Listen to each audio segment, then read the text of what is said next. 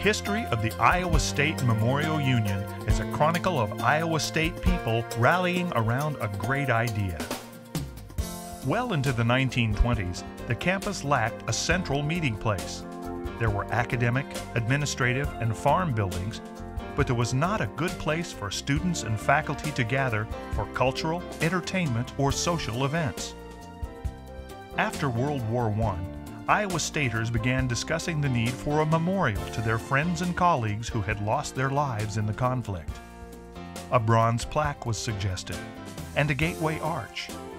But an outspoken group lobbied for what they called a living memorial that would be included in a building.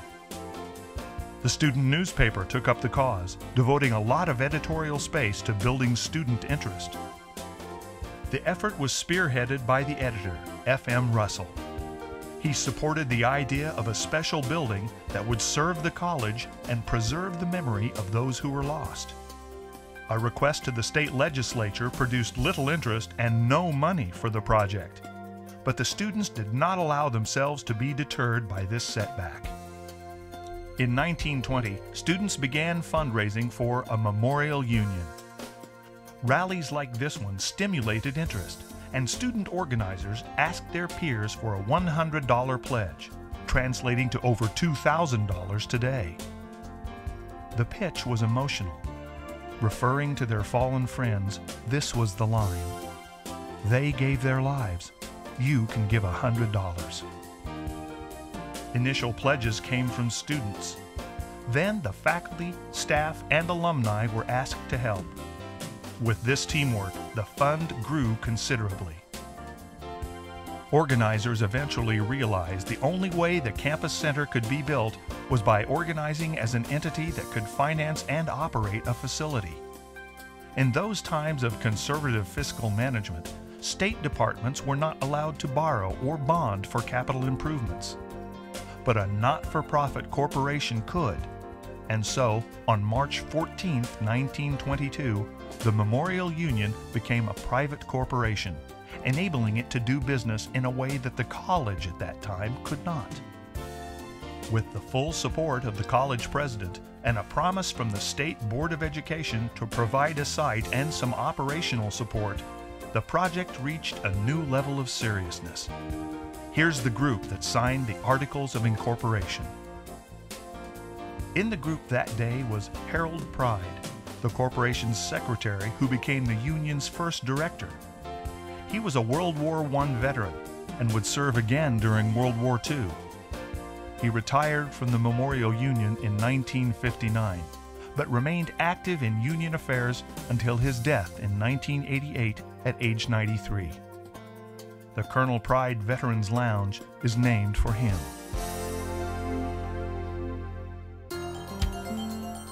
The first architect hired by the board failed to come up with a satisfactory design. A second architect resigned. The plan was finally undertaken by the renowned Des Moines firm of Proudfoot, Rawson, and Sowers, a firm well known for buildings across the state and still alive today as Brooks, Borg, and Skiles. At Iowa State, Proudfoot also designed Beardshear and Curtiss Halls, by the time the firm took on the Union project, William Proudfoot was advanced in years and not well. The design was assigned to a younger architect, but the right solution was elusive. Proudfoot eventually stepped back in to create the classic design that combined the very large and very small rooms the college wanted. It was to be his last effort. He did not live to see the project completed. By 1925, a million dollars had been pledged to the Memorial Union project. The state board agreed to the site that had been selected, five acres near Lake Laverne. This view from across the lake shows the old veterinary hospital that was torn down to make way for new construction. Early in 1927, with a portion of the pledges in hand, construction plans were made, bids were taken, and the groundbreaking ceremony was scheduled. But discovery of a legal complication provided hair raising delays at this critical stage. Although the Board of Education had agreed to provide the site, they never formally transferred title. and no financial institution would loan money to an organization that did not have clear title to the land. Pride made a trip to Des Moines. While studying Board of Education rules, he discovered an obscure passage that allowed for them to dispose of land. The state attorney general agreed it was legal. The governor was tentative, but approved the deal, finally convinced that he, quote, had nothing to fear about approving a sale of land to a corporation that promised to put on it a million dollars worth of improvements to be used by college men and women. Unquote. Three months of intense legal maneuvering followed, bringing approvals down to the wire. With the title in hand and assurance of a loan, the Union Corporation signed the construction contract on the fender of the steam shovel on the day of groundbreaking. That was April 26, 1927. Adding to the drama of the day were ceremonial cannon blasts from a 75 millimeter gun. No one quite realized that the percussion shocks would break the windows of the Collegiate Presbyterian Church three blocks away. By August 1927, the steel framework rose from the knoll of the hill, and the whole campus rang with the sound of riveting. In this view from the north, the Bedford limestone facade takes shape. The Memorial Union was to match Beardshear, MacKay, and Curtiss Halls, creating the fourth compass point around Central Campus. In October 1927, interior work on the stairway at the west entrance proceeded, creating an elegant entry in which no two steps are alike and only one is straight. When it was completed, Gold Star Hall created a long corridor entrance to the original building. Gold Star Hall is the memorial in the Memorial Union. In World War I, when a family had a son or daughter in the service, they displayed a sign with a simple blue star in their window. When a life was lost, the sign with the blue star was changed to one with a gold star, hence the name Gold Star Hall. The names of Iowa Staters who died in World War I were initially carved into the walls. Since then, names from World War II, Korea, Vietnam, Somalia, and Iraq have been added.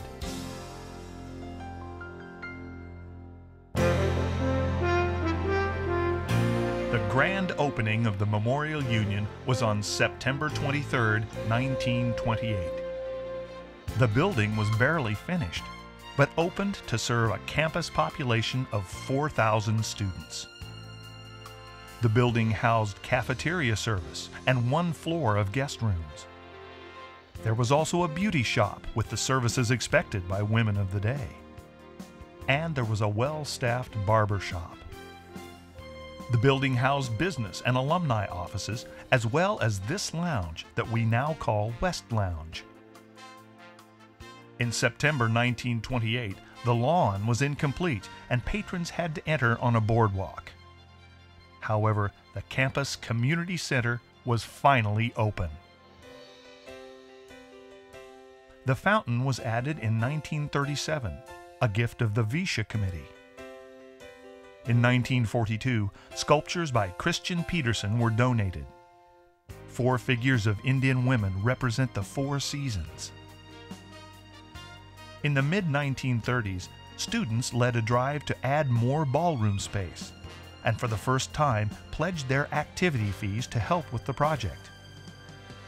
In 1938, construction began on what would be the first of 11 additions to the original building. In that first addition was more space in the Commons and the South Ballroom, which was the new southernmost space. In the basement of that addition were the first six bowling lanes. Actually, it was the bowling lanes that dictated the size and shape of the addition. In 1943, Gold Star Hall received its finishing touch. Replacing clear glass were 12 colorful stained glass windows, designed by Harold Cummings, an Iowa State graduate. Each window represents a human virtue such as faith, tolerance, love, and determination shown here. There are also images depicting Iowa State legends and landmarks, areas of study, and branches of the military. After World War II, enrollment at Iowa State jumped to nearly 10,000. The whole complexion of the campus changed when former GIs who were married and older than average filled the ranks of students. This slide shows married student housing in Pammel Court. But all over Iowa State, facilities stretched to meet demand, and the Union was no exception. In 1948, a small addition went onto the south and southeast, allowing for expansion of the kitchen and providing space for eight more bowling lanes under a new south terrace. Then, starting in 1950, the most dramatic of the Union's additions took place the northwest wing and the terraces. On the third floor, this construction created the gallery and offices. On second floor was the main lounge, just across from the main desk. The area we now call the Pride Veterans Lounge was originally the Women's Lounge. That's why there's just a women's room in that space. There was also a men's lounge in the northwest corner of the second floor. On the ground level under the terrace was a new billiards room near the bowling alleys. That space is now occupied by Dean of Students offices such as Greek Affairs. Before this addition, the west door exited directly onto the lawn. After the addition,